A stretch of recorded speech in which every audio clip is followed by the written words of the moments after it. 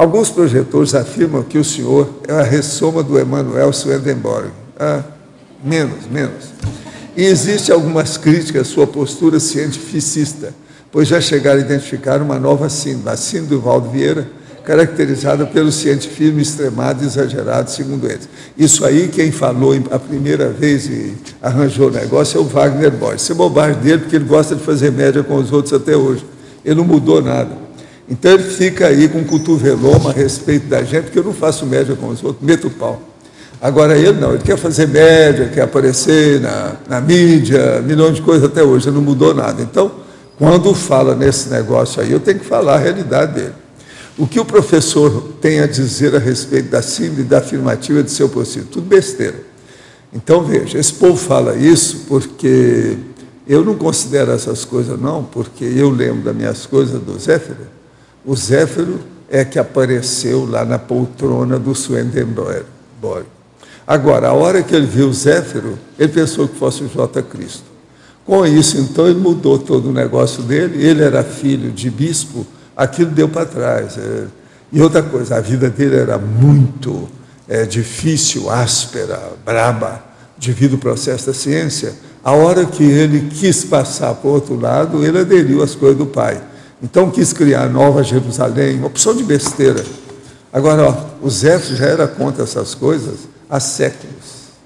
Não me inclua, me inclua fora dessa, que eu não tenho nada a ver com isso, não. Agora, ó, ele é uma grande personalidade, tá? O Sandemborg, fora de série. Por sinal, tem ah, o busto dele aí, nos nossos bustos aqui do CEEC, Sandemborg. Outra coisa, eu conheço muita coisa dele devido ao processo do passado aí dele, as coisas todas. E, inclusive, eu li praticamente as principais obras dele, que nós temos tudo lá embaixo. A principal obra dele é o Diário Espiritual dele. Diário Espirituale. Esse vale a pena. Foz do Iguaçu tem energia. A energia das nossas águas, dos nossos ventos, das nossas matas e animais a energia de nossa gente, de nossa história, de nossa diversidade. Dia e noite, Foz é energia. A escolha ideal para materializar uma iniciativa pioneira no planeta. Uma comunidade voltada à pesquisa da consciência de modo integral, considerando as bioenergias, as vidas anteriores, as múltiplas dimensões e seus diversos veículos de manifestações, além do corpo físico. Estamos falando da conscienciologia, Ciência proposta pelo pesquisador independente, autor e professor Valdo Vieira. Uma abordagem que conquistou reconhecimento internacional, trazendo a consciência ao universo científico na condição desafiadora de observador e, ao mesmo tempo, objeto das experiências. Assim surgiu o embrião da futura Comunidade Permanente de Pesquisadores da Consciência, o CAEC, Centro de Altos Estudos da Conscienciologia, fundado em 1995 na região do Tamanduazinho. Hoje, aquela área recebe oficialmente em Foz o nome de Cognópolis, o bairro do conhecimento, e recebe conscienciólogos de várias partes do mundo, um grande polo atrator de intermissivistas, aqueles que estudaram em cursos especializados para cumprir as programações de vida com que se comprometeram antes de seu nascimento nesta dimensão física.